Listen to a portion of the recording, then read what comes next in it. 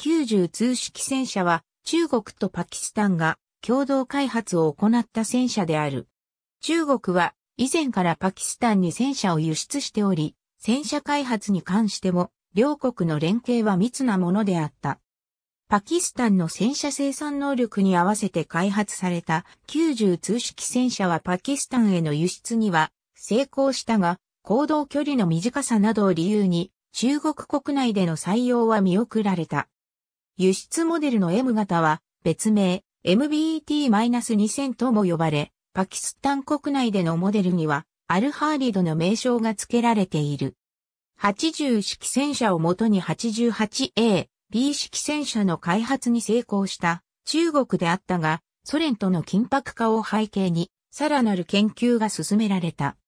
一方、パキスタンも同じくソ連のアフガニスタン侵攻に伴う脅威と隣国インドの軍拡競争とにより、自国の軍備増強が進められた。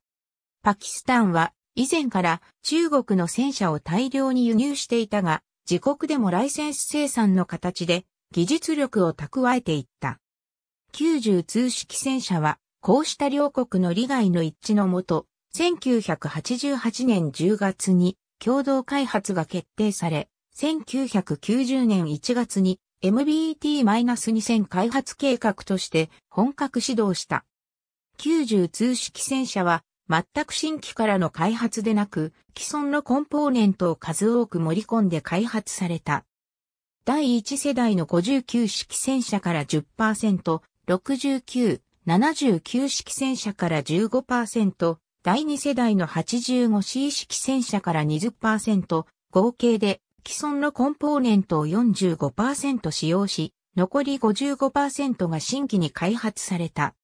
新コンポーネントには、ソ連製の T-72 戦車から多くが取り入れられており、車体の大きさやデザインで多くの類似点が見られる。車体と砲塔は溶接工板ではあるが、全部は複合走行を採用している。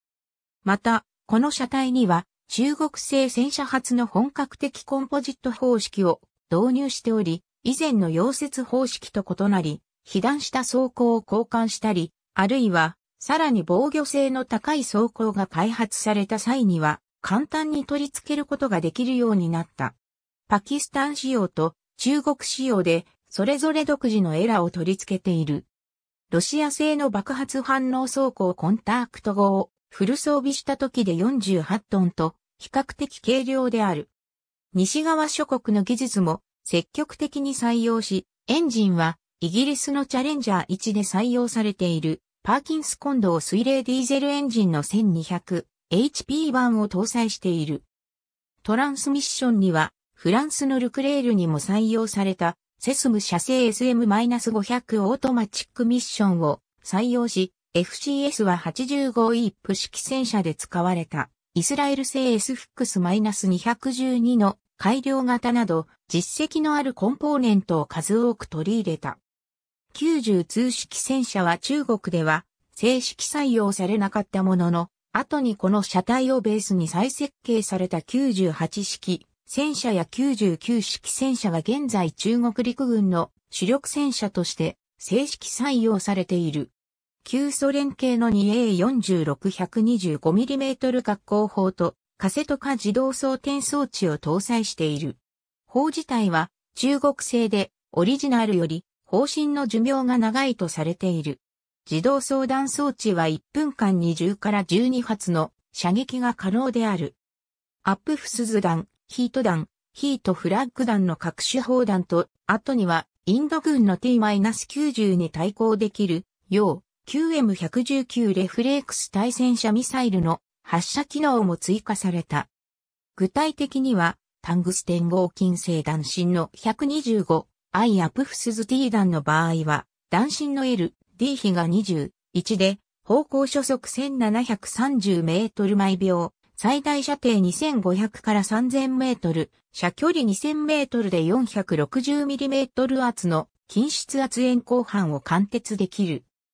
劣化ウラン製弾芯の125、2アプフスズ T 弾は2500メートルにおいて、命中角60度で厚さ350-400ミリメートルの均質圧円鋼板を貫徹し、2000メートルで600ミリメートルの均質圧円鋼板を貫徹する能力を有すると言われている。